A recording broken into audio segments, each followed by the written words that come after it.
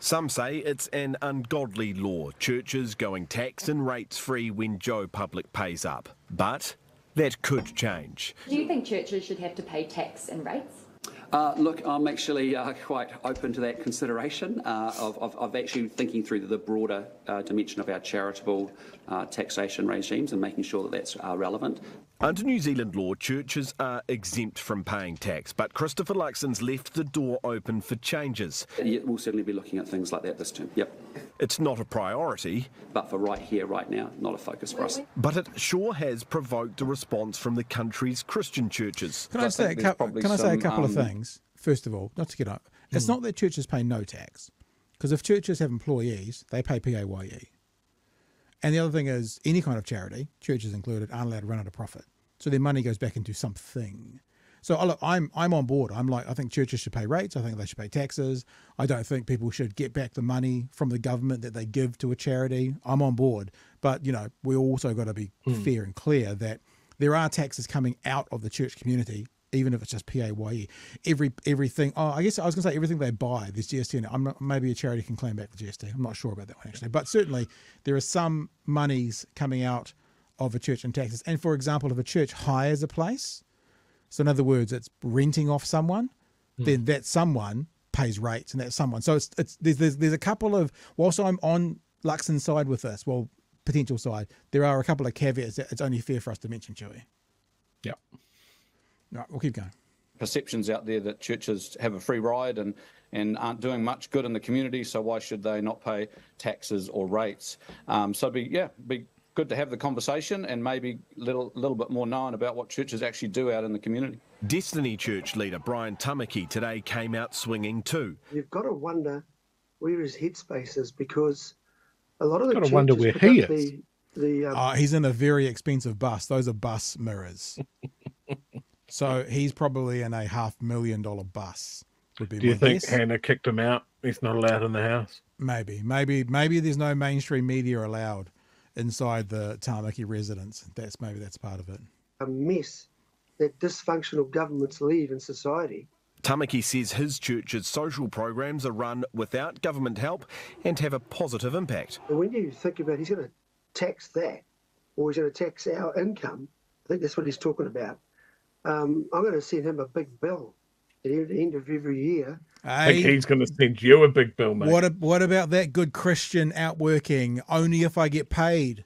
Only if I get paid will we run these uh, these events for our community. All comes back to the money. Hey, that's a good Christian outreach, isn't it? Charging all the costs that we're doing for free Christopher Luxon's desire to explore taxes for churches is hot on the heels of a similar call from Auckland Mayor Wayne Brown when it comes to rates. Under the Rating Act, places used for religious worship are exempt. The Mayor says that should change.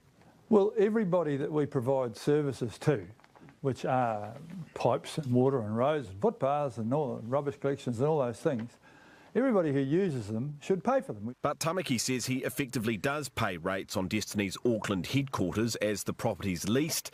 But if the mayor gets his way, other churches occupying Auckland's priciest sites may be forced to fork out. So there's a, a story, Chewie, and people often say, well, when do you guys ever support? Mm. I mean, Luxon wasn't jumping up and down to do it, but he said he'd investigate it, and I tell you what, I would I would support him on that. We've got something else to talk about with Brian Tamaki, but first, thoughts around that. Yeah, yeah look, I, I, I think when the tax code was sort of settled and, and they were looking at, at churches and that sort of thing, we didn't have the landscape of different factional churches um, that we do now. And I think that assumption that it's a church, so it must do good work in the community, mm-hmm. was enough back then. But now we don't look at them and I think if you do open it up and go, well, look, you, you do have to pay tax on your income, you do have to pay rates to your local council and that sort of thing, that still leaves the door to go. If you can prove what good you're doing in the community, then you can have a tax write off. It's just, it's more visibility into what activity you're actually doing. Like if you want to spin up a, a, a set of social housing or a food bank, or something like that, or even if Destiny's programs can be proven to be effective and not just another side hustle, um, then that would be great as well. But yeah, I, I mean, when it comes to you know, you, you talked about if, if a church leases its property, you know, the, the landlord is still paying paying rates and that sort of thing. Mm-hmm. In Destiny's case, his, his headquarters in Auckland is leased. Yeah. I don't know the legitimacy of that lease. Uh, I wonder if it's leased from church- him. from a church member or or something like that. I wonder But I think it. if you've got someone like the Tamakis that have such an extravagant life, like they're buying two hundred and ten thousand dollar vehicles, they've got multiple properties, they, they're traveling the world, the Harley Davidsons that their circle have, and all of that sort of stuff is just remarkable, and it it it, it just reeks of a tax free life.